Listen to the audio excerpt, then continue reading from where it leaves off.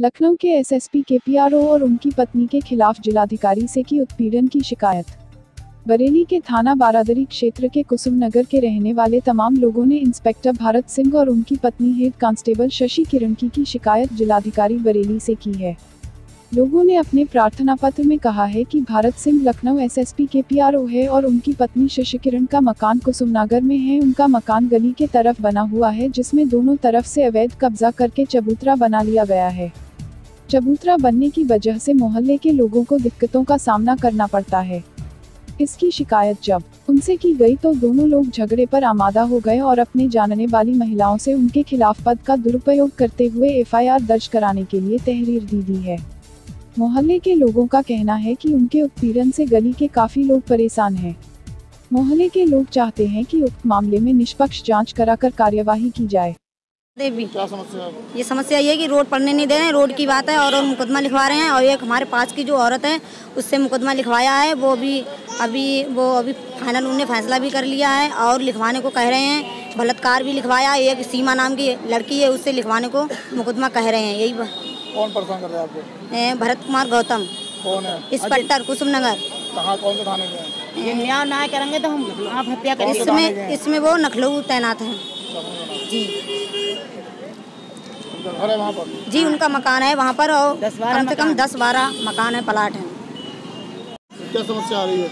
ये भरत कुमार गौतम बहुत परेशान कर रहे हैं मेरे खिलाफ मुकदमा भी लिखवा चुका है और जो मेरा निर्णय नहीं होएगा नहीं फैसला होएगा तो मैं आप हत्या खुद कर लूँगी मैं बहुत परेशान हो। गई एक साल मुझे दौड़ दौड़ते गई। बताओ क्या मेरे बच्चा भी लिखवा देते हैं? क्या नाम तुम्हारा? मेरा नथो देवी नाम। कहाँ रहती है? मैं जेल रोड पर रहती हूँ। हाँ। और कुसुम नगर में मेरा मकान है। मुझे बहुत परेशान जी कर रहा है। मार एली तेली सब तरीका की बखानता जब कहा हो है तो। वहाँ मैं लड़की और दामाद मेरे रह रहे हैं। क्या नाम है आपका? मेरा नाम है शिव कुमार। सर मामला ये है कुसुम नगर रोड का अतिक्रमण को लेके था। रोड नगर निगम से पास हुआ। पास होने के बाद सर इनने छः छः फीट रोड पे, पे बाउंड्री करके जाल लगा रखे हैं। उसके लिए सर हमने रोड पास हुआ नगर निगम से हमने विरोध किया।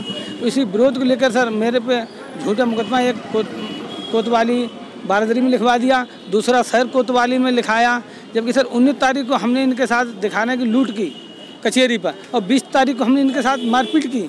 उन्नीस के यहाँ तहरीर दी सर कोतवाली में और बीस में दी बारादरी कोतवाली में।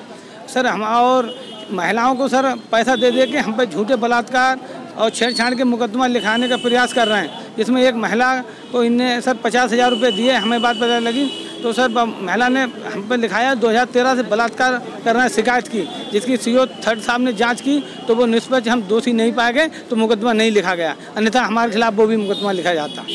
अब इससे पहले अधिकारी से मिले? इससे पहले सब अधिकारियों से मिल चुके हैं और कोई मेरी कार्रवाई नहीं हो रही क्योंकि वो इंस्पेक्टर हैं इसलिए हमारी कोई सुनवाई नहीं। और सर मैं 2013 से वहाँ रह रहे हैं मेरे खिलाफ आज तक कोई शिकायत कोई प्रार्थना पत्र इंस्पेक्टर साहब ने दिया हो तो बता दें मुझे।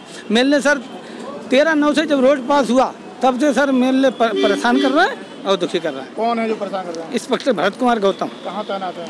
लखनऊ। आप इससे और अधिकारी से मिले पुलिस अधिकारियों से? पुलिस अधिकारियों से मिले सबसे मिले सर।